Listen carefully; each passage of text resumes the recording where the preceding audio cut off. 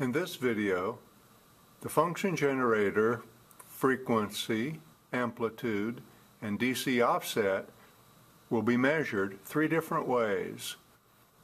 One by the analog oscilloscope, two by the digital oscilloscope, and three by the Fluke voltmeter.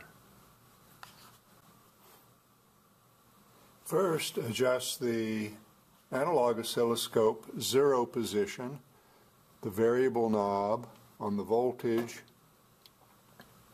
is fully counterclockwise. The variable knob on the time knob is fully clockwise. The trace is positioned on the extreme left-hand edge with this knob. The scale is adjusted so that the peak value is as large as possible and one full cycle is maximized.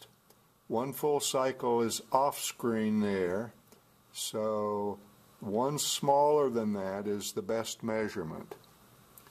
So the current measurement is 5.4 divisions is the period.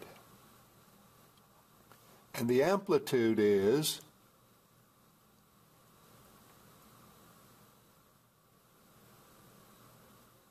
Three point six up and three point six down. So the amplitude is 3.6 divisions. And the DC offset is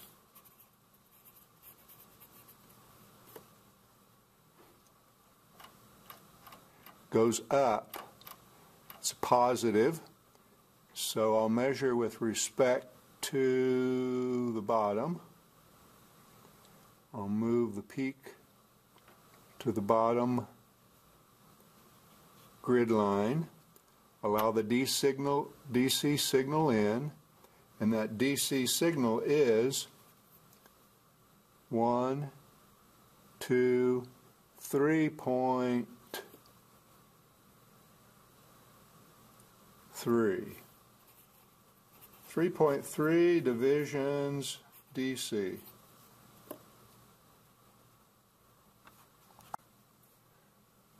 Now measure the same signal with the Tektronix digital oscilloscope.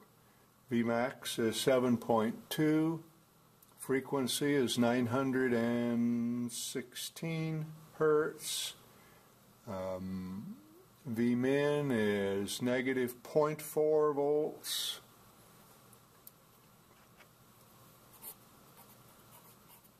and V peak to peak is 7.68 volts.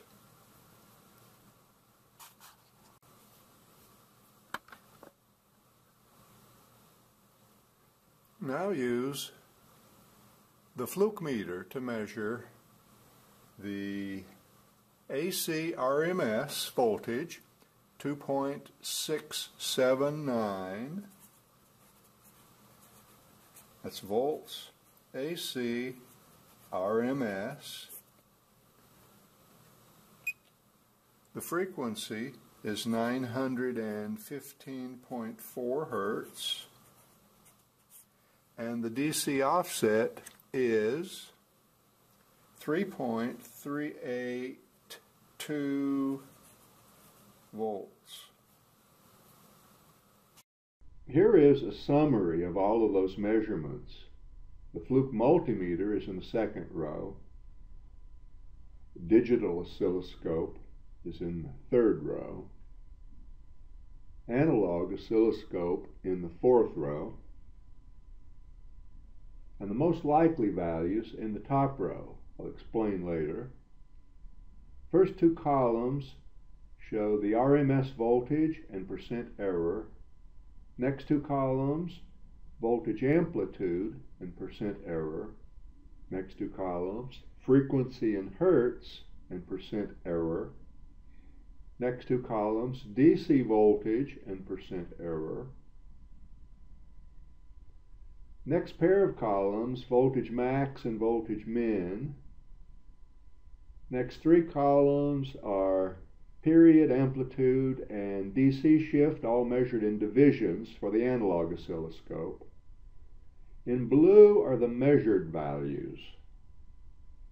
In green are the calculated values from those measured values.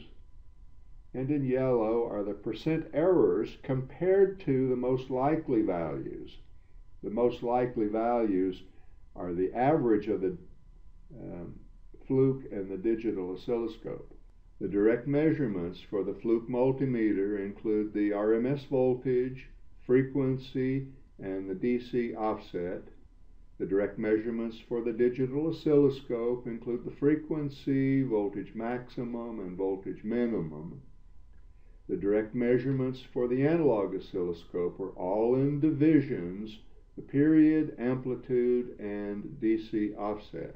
I'm most interested in the analog oscilloscope calculations compared to the digital measurements. For example, the 3.6 volt amplitude comes from multiplying 3.6 divisions times 1 volt per division.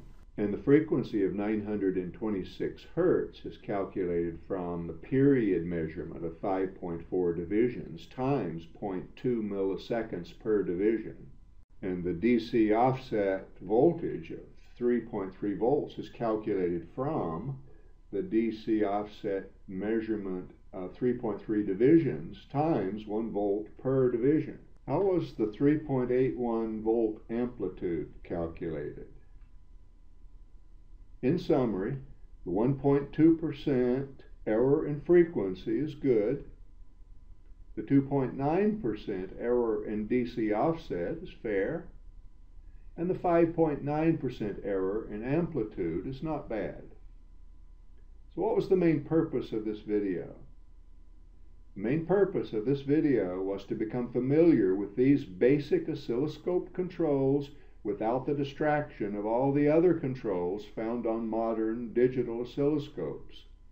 All oscilloscopes have these basic features.